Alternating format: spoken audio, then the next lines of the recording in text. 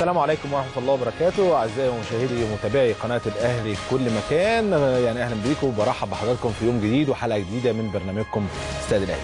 حلقة النهارده هتكون مختلفة وهنتكلم فيها عن مباراة منتخبنا الوطني مع أوغندا وكمان أيضا استعدادات فريقنا للموسم الجديد ومواجهة الترجي التونسي. أكيد كلام كتير عن مواجهة منتخبنا الوطني مع أوغندا وطبعا الكل عارف إنها مباراة مصيرية في مشوار الصعود لكأس العالم روسيا 2018 حاجة مميزة يمكن أنا عايز أتكلم عن الماتش ده بس بشكل مختلف وتحديدا هنناقش معاكم القائمه اللي اختارها مستر هيكتور كوبر المدير الفني واللي لفت انتباهي فيها يمكن انضمام حسام عاشور وصالح جمعة لهذه المباراة. يمكن طبعا اثنين لعيبة من فريق النادي الأهلي ده يمكن أول مرة ينضم الثنائي مع المنتخب في القائمه النهائية. يعني القائمه النهائية لأول مرة حسام عاشور وأيضا صالح جمعة ينضموا لهذه القائمه النهائية لمباراه أوغندا. الفترة اللي فاتت الثنائي كان بعيد عن المشاركة مع المنتخب لأسباب فنية ولكن المرة دي, دي انضموا لقائمه مباراة أوغندا وده ممكن يكون مؤشر على اعتماد مستر هيكتور كوبر عليهم بشكل كبير ومنحهم أدوار خاصة في الفترة اللي جاية مش في ماتش أوغندا بس إحنا عندنا ماتش أوغندا بعد أيضا يعني أربع أيام من العودة إن شاء الله يوم الثلاث فبالتالي إن شاء الله كل التوفيق إن شاء الله لمنتخبنا الوطني. كلام أكيد حسام وصالح عندهم كتير قوي يقدموه للمنتخب المصري وأعتقد إن من وجهة نظري إنهم إضافة قوية لمنتخبنا. إنما هيكون موضوعنا النهارده هو إيه الدور اللي ممكن يقوم بيه الثنائي سواء بقى صالح أو حسام لمنتخبنا الوطني وإمتى ممكن يتم يتم الدفع بيهم خلال اللقاء أو كأساسيين أو احتياطيين. ده اللي هنتكلم معانا طبعا في ضيوفنا اللي هيكونوا موجودين معانا من خلال طبعا الفترة القادمة أو الفترة الثانية أو المرحلة الثانية من برنامجنا. أنا عايز أقول لكم إن طبعا ده صالح جمعة اللي تألق بشكل كبير مع النادي الأهلي في الفترة السابقة يعني أعتقد إن كابتن حسام كمان كان سعيد جدا بعودة صالح جمعة مع الفريق بالشكل اللي إحنا شفناه. كل جمهور الأهلي كان سعيد. كل جمهور مصر كان سعيد بصالح جمعة وعودته لأن هو عنده مهارة مميزة جدا بأمانة. اما نيجي نبص حتى للأهداف اللي أحرزها سواء بقى الأهداف الهدف ده أو الأهداف اللي كان بيشترك فيها مع زمايله حمودي وحمودي مع صالح الأمور كانت فيها ثنائيات أيضا وفنيات عالية جدا من صالح. هو واضح إن هو كان مركز بشكل كبير. هو واضح إن هو كان يعني خلاص فرصة كانت جاية له وكان لازم يمسك فيها بايديه وأسنانه. عايز أقول لكم إن يعني صالح انتهز الفرصة لأن منتخبنا الوطني محتاج لاعب زي زيه. يعني عشان كده التفكير واللاعب لازم يستخدم ذكائه سواء بقى في الملعب أو خارج الملعب. لما أنا أبتدي أركز وشايف إن الأمور حواليا متاحة إن أنا أبقى من موجود في النادي الأهلي كلاعب أساسي وموجود مع منتخب مصر لازم أستغل الفرصة دي. وهو الصراحة بأمانة يعني اشتغل بشكل كويس ونتمنى إحنا كلنا إن صالح يبقى في التركيز ده وفي بالاهتمام اللي هو بيهتم بيه بيه في الملعب سواء بقى في تدريب أو في مباريات. أعتقد إن هي أفضل من كده بكتير كمان لأن صالح عنده إمكانيات هايلة عنده لسه طاقة موجودة كلاعب لسه صغير السن يقدر يخرجها من خلال تواجده في الملعب في الفترات القادمة سواء بقى مع النادي الأهلي ومنتخب مصر. وسعادة جمهور الأهلي بيه إنه شايف لعيب زي ما بيقول معلم ابن معلم يبقى موجود مع النادي الأهلي في الفترة القادمة خصوصا إن إحنا يعني داخلين على بطولات كتير. النادي الأهلي دلوقتي مطالب ببطولات كتير. مطالب عندك بطولة أفريقيا عندك بطولة السوبر المصري عندك السنة الجاية بقى أنت محقق ثنائية فلازم تحافظ على اللقب سواء بقى هنا أو هنا سواء في الدوري أو في الكاس. أيضا إن شاء الله لو وصلنا لنهائي أفريقيا ولعبنا وكسبنا البطولة إن شاء الله عندنا كأس عالم للأندية. وهكذا هكذا دائما النادي الأهلي. أنت وجودك فيه كلاعب ده مكسب كبير ليك. وأيضا طبعا حاجة مميزة جدا جدا. عشان كده صالح من اللعيبة اللي أعتقد مستر هيكتور كوبر من خلال وجوده في المعسكر في التوقيت الحالي هيكون بيفكر بشكل كبير خصوصا في الجزء الفني. يعني لما نيجي نبص هو مستر هيكتور كوبر ما بيغيرش تقريبا في التشكيل. هتلاقي عبد الله سعيد موجود. ولكن في وقت من الأوقات لما نزل عبد الله السعيد مع صالح جمعة مع النادي الأهلي ما دي التجارب دي مستر هيكتور كوبر بيبص على الدوري المصري وبيبص اتنين لعيبة بيكونوا مهمين أو بيتعاملوا مع بعض بشكل مميز جدا داخل الملعب أكيد هيبقى ده مكسب ليه؟ إن هو ممكن يتعامل بنفس الأسلوب. لما صالح جمعة تكون محتاجه في تغييره وعبد الله سعيد موجود داخل الملعب عشان تزود الجزء الهجومي هو احتاجته في مباراة أوغندا القادمة أو اللي بعدها هيقدر يتعامل صالح مع عبد الله السعيد وزمايله اللي في الملعب بنفس الشكل اللي كان بيتعامل مع النادي الأهلي. فبالتالي هيكتور كوبر أعتقد هيشتغل على الجزئية دي مع طبعا الإمكانيات الخاصة لصالح جمعة في ال- ال- الباص المميز. دلوقتي عنده قدرات كمان إن هو بيكمل في ال 18 بشكل مميز وده اللي كان ناقص لصالح جمعة وحله بشكل كبير أو طوره بشكل كبير من خلال أدائه في الفترة السابقة. حسام عاشور طبعا لعيب مميز محدش يقدر يتكلم. هو أفضل لاعب خط وسط في تاريخ آه، آه، مصر كلها. بيتعامل في نص ملعب ويبقى فعلا آه، آه، زي ما بنقول إيه آه، في نص ملعب رايح جاي شمال يمين ومسمار نص ملعب. لما نيجي نتكلم إن هو بيقوم بأدوار دفاعية مميزة جدا للفرق كلها سواء بقى النادي الأهلي أو منتخب مصر إن شاء الله وده الهدف أكيد من مستر هيكتور كوبر. أنا لما تقعد تفكر كده مستر هيكتور كوبر ضم ليه حسام عاشور هل ممكن يلعب بثلاثه في نص ملعب؟ مع منتخبنا الوطني في المباراة القادمة. لا أنا بشوف إن مثلا كوبر هيكتور كوبر ما بيغيرش شكل الأداء اللي هو 4 2 3 1 ولكن طبعا حسام عاشور في وقت من الاوقات لو هو احتاج الجزء الدفاعي في نص الملعب أعتقد حسام عاشور هيبقى هو الأقرب للجزئية دي. لأن هو فعلا لاعب مميز لاعب آه، آه، آه، تقدر تعتمد عليه خبراته الكبيرة في أفريقيا مع النادي الأهلي وخبراته الكبيرة مع منتخبنا الوطني قبل كده وأيضا خبراته الكبيرة في الدوري المصري تؤهله إن هو يقدر يظبط رتم الملعب. في حتة آه، آه، آه، الباص كمان في حتة قطع الكورة من ال- الفريق الخصم في حتة الانقضاض باستمرار على الفريق الخصم ويمنع هجمات كتير ممكن تبقى تبقى عليك من خلال طبعا الفريق ال- الخصم. فبالتالي انضمام حس- حسام أعتقد مكسب كبير أيضا لمنتخبنا الوطني وكنا بننادي بيه وبنستغرب بشكل ما إزاي لاعب زي ده موجود باستمرار وأساسي باستمرار مع النادي الأهلي ما يبقاش موجود في منتخب مصر بالرغم الإمكانيات الكبيرة اللي موجودة عنده والاعتماد ده خلي بالنا إحنا كل مدرب سواء أجنبي أو مصري جه النادي الأهلي اعتمد على حسام عاشور بشكل أساسي. على مدار تاريخه حسام عاشور يمكن أحرز بطولات كتير مع النادي الأهلي أعتقد عدت ال 30 بطولة فبالتالي يعني لاعب أساسي ولاعب مميز ولما نيجي نبص على مدار الموسم لاعب خ- 99 أو 98% من آه، آه، آه، مباريات النادي الأهلي. فبالتالي لاعب مميز ومؤثر لفريق النادي الأهلي ومؤثر في الدوري المصري. فبالتالي الاستغراب بيجي من الجزئية دي. ولكن طبعا مستر هيكتور كوبر واضع زي ما بنقول عمود فقري للمنتخب الوطني بيختار اللعيبة على أسس معينة. طبعا حسام عاشور انضمامه حاليا ل الدوري أو المنتخب في الوقت الحالي ده مكسب لمنتخبنا. إحنا يعني كلنا أمل إن شاء الله وده اللي إحنا آه، هنتكلم فيه مع ضيوفنا. أنت عندك المباراة القادمة هي فيصل بشكل كبير.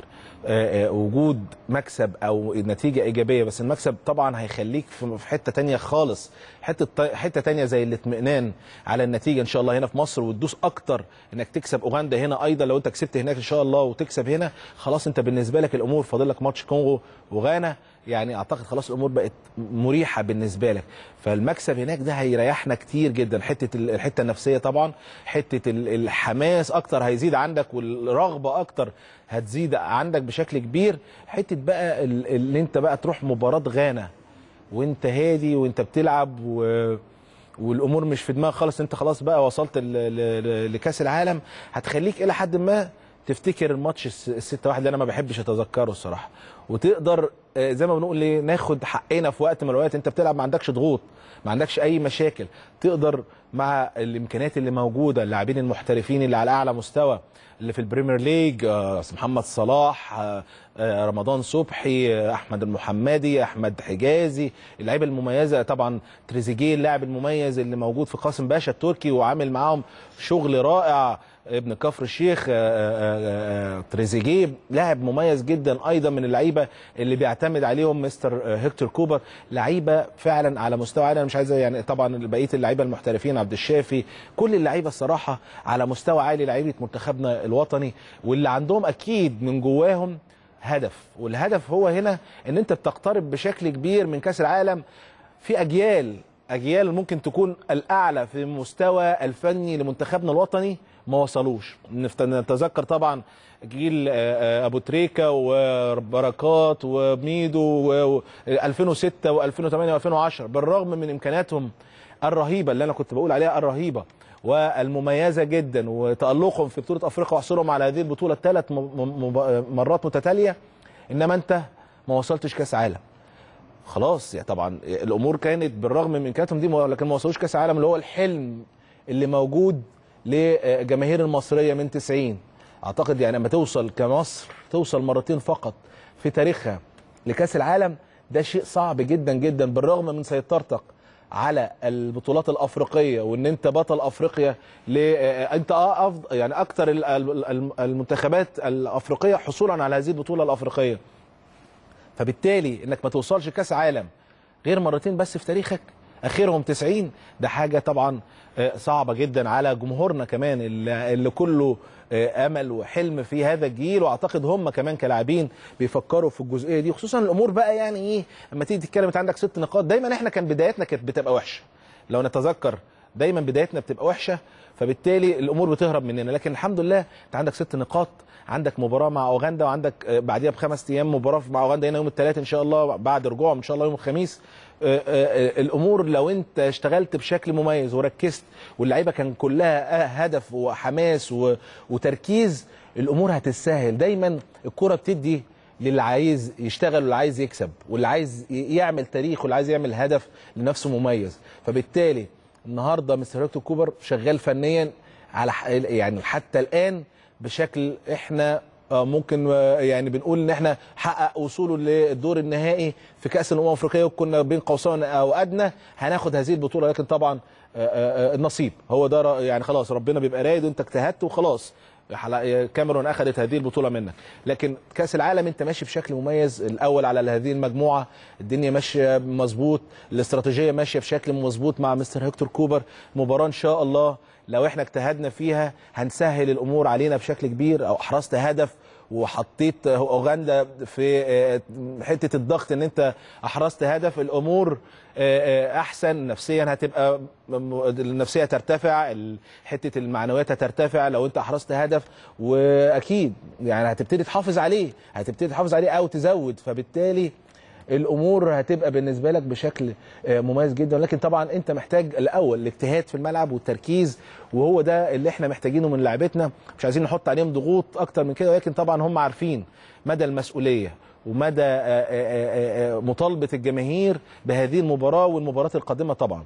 إن أنت توصل من خلال هذه المباراة كأس العالم. زي ما إحنا عارفين ان مستر هيكتور كوبر ضم طبعا مجموعة من اللاعبين أو خلاص يعني خلاص دول المجموعة اللي اختاروا مستر هيكتور كوبر في حراسة المرمى عصام الحضري أحمد الشناوي شريف إكرامي خط الدفاع أحمد فتحي أحمد المحمدي عمر جابر رامي ربيعة أحمد حجازي سعد سمير محمود طبعا في مجموعة استبعدت في الفترة الأخيرة أو قبل السفر خط الوسط حسام عاشور محمد النني طارق حامد سام مرسي وصالح جمعة محمد صلاح محمود تريزيجيه ورمضان صبحي ومحمود كهربا عبد الله السعيد. يمكن استبعاد أربع لاعبين طبعا ده طبعا خط الهجوم كان أحمد حسن كوكا وعمرو جمال. استبعاد أربع لاعبين من بعثة المنتخب قبل السفر محمود عواد ومحمود عزت وأيمن أشرف وأحمد الشيخ بالإضافة طبعا ل مصطفى فتحي للإصابة. طبعا كل التوفيق للاعبين اللي هم موجودين في التوقيت الحالي. طبعا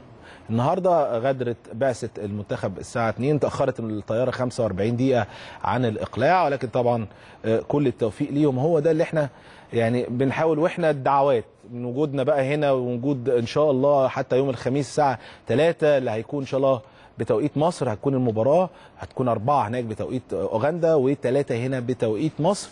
هيكون الدعوات هو من دلوقتي حتى هذه المباراة. كل زي ما بنقول النصر المصري يا رب هو ده اللي إحنا بنتمناه بأمر الله. طبعا اتحاد الكورة ودوره وده الأهم بقى. انت بتوفر الأمور كلها والايجابيات كلها والامور اللي انت بتبقى محتاجها كجهاز فني بشكل كبير وده هو ده الشغل الإداري مهندس هنا بريدة ومجلس إدارة والجزء التحفيزي في الفترة. يعني السابقة أعتقد إن هو مميز جدا جدا جدا وحتة إن أنت يبقى عندك طيارة بتنقل بتنقل اللعيبة بشكل طيارة خاصة تنقلهم لمكان اللعب سواء بقى في أوغندا أو الدول الأفريقية اللي أنت هتلعب فيها بتريح كتير بتوفر كتير مجهود للاعبين بتخليك في حاله تركيز وراحة. أعتقد إن إحنا كنا محتاجينها.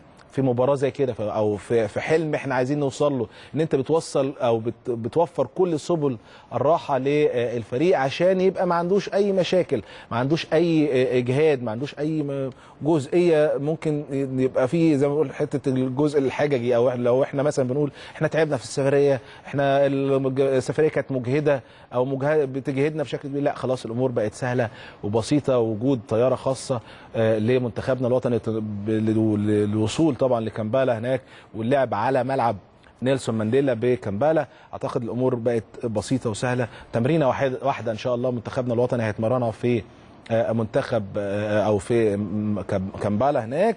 تمرينة واحدة ثم طبعا آه، إن شاء الله المباراة زي ما بقول لكم الساعة 3 آه، يعني محمد صلاح طبعا نجمنا ونجم آه، ال- ال- ال- ال Reds آه، في Premier League. آه، نجمنا طبعا لسه كان من يومين أحرز هدف وكان في assist كمان في هذه المباراة أمام فريق كبير زي الأرسنال آه، ريدز على الأرسنال.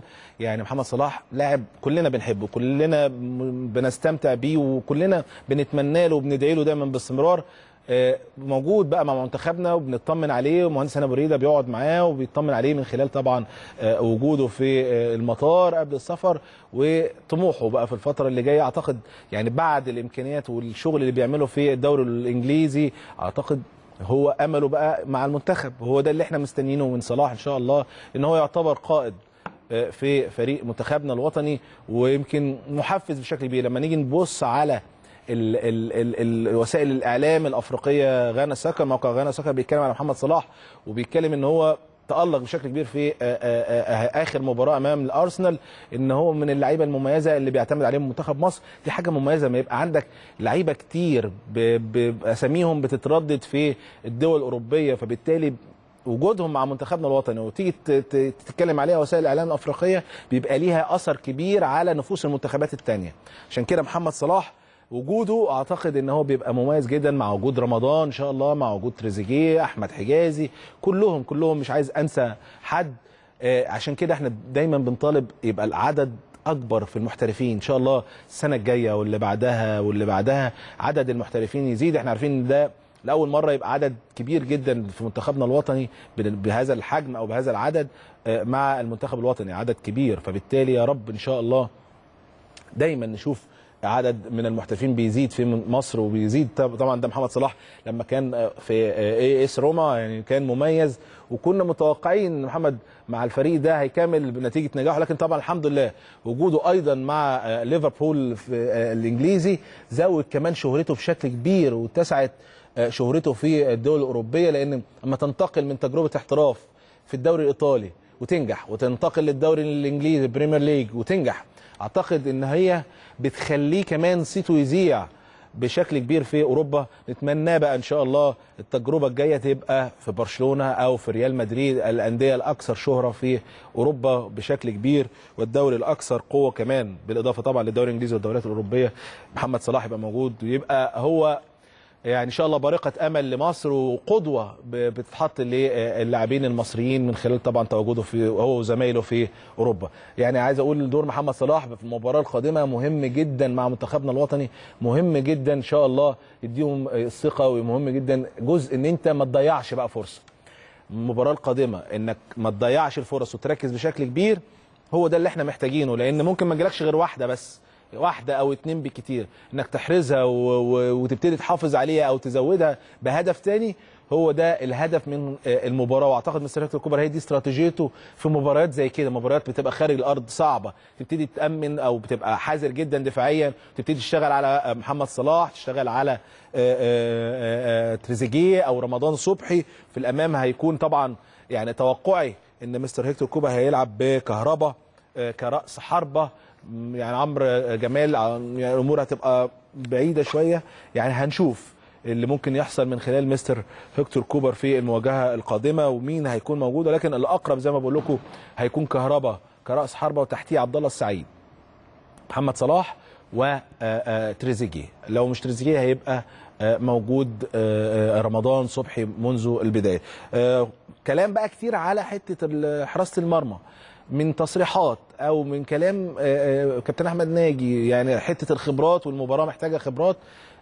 كلام الأقرب عصام الحضري بالرغم طبعا من شريف تألقه والشناوي أيضا تألقه. شريف آه، السنة دي عامل موسم استثنائي بالنسبة له. آه، clean sheet في عدد مباريات أو كسر كتير عدد مباريات clean sheet أعتقد إن هو مميز آه، هذا الموسم. ولكن آه، أنت برضو الجهاز الفني للمنتخب بيبقى ليه رؤية مختلفة. بيتكلم على الخبرات بيتكلم على آه، لعيبه ممكن تكون جاهزة في التوقيت ده.